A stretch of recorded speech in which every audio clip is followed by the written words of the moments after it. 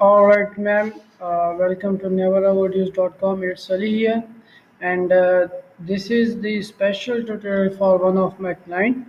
And in this tutorial, I will show you how you can change this uh, personal trainer text on this uh, team option.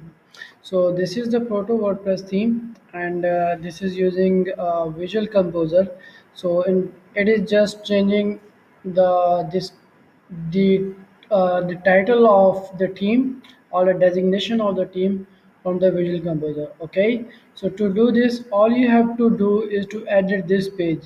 So you can directly edit the page from this button. If you are logged into WordPress, you will be able to see this okay so you can directly edit the page so i am just doing it from this page right away okay so let's wait a bit because my internet connection is not so well.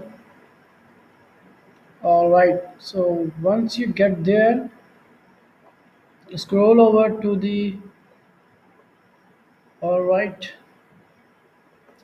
So you don't do you see you don't find any of the options to change the member from this section.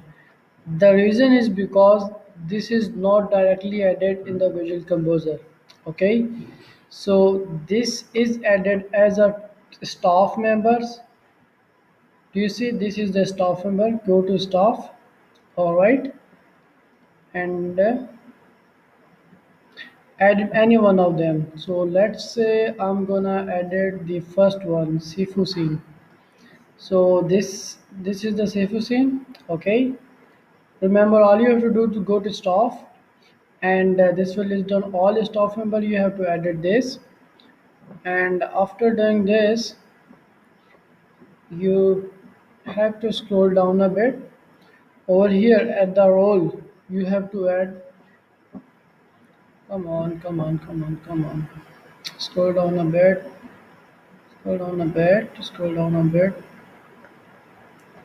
Where it is gone all right over here in the member options let's just change this to physical trainer. Here's where I say physical trainer and update. Once you update this staff member okay remember this is the staff. It should pop up over here. All right. Okay as you can see that it has been changed and you can do it uh, this way. All right man thanks a lot. Bye bye take care